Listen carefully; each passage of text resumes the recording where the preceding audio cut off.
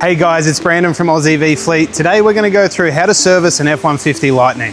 It's super easy, I'm sure you're gonna enjoy this. Okay, as you can see, we've driven it on the hoist. Uh, a lot of this service stuff is just like an internal combustion engine or a normal car, as a lot of people would say. So we'll start with doing a light check, making sure indicators, headlights, brake lights, park lights work, make sure the horn works, uh, go through and check the windscreen washers and wipers, Make sure there's no faults on the dash, go through and make sure that there's no tire pressure issues or anything like that. Okay, so now we're gonna have a look under the frunk, which is normally the bonnet on most other cars. There's a frunk release switch under here. Now this is gonna give us access to vital things like coolant level, brake fluid level, and the battery.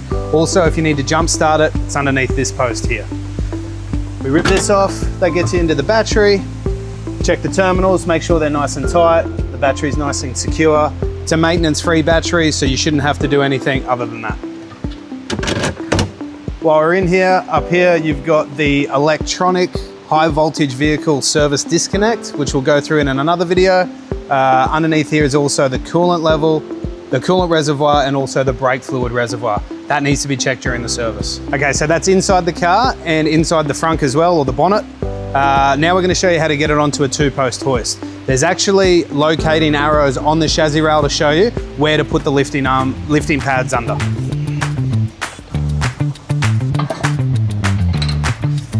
So halfway up on the hoist, we're going to do the wheel and tyre check and the brake check.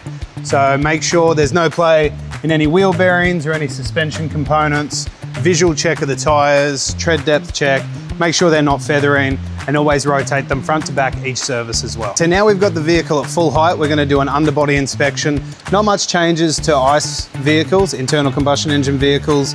It's a visual check of suspension components, CV shafts, make sure that there's no debris or anything hanging underneath.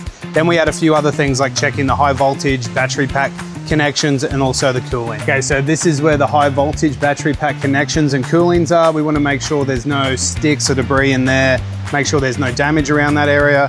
Also to make sure that the bash plates are secured and doing their job and not letting any foreign objects in there. Make sure you adjust the tire pressures to a minimum of 40 PSI. I know certain sites require more. Just make sure we have at least 40 PSI.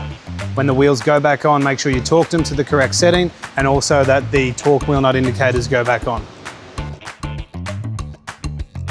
Okay, so the only other thing we have to do inside is to replace the pollen filter.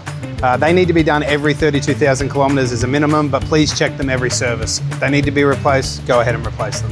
What we're gonna do is we're gonna drop the glove box down, gives us access to the pollen filter cover there. We unclip that from each side.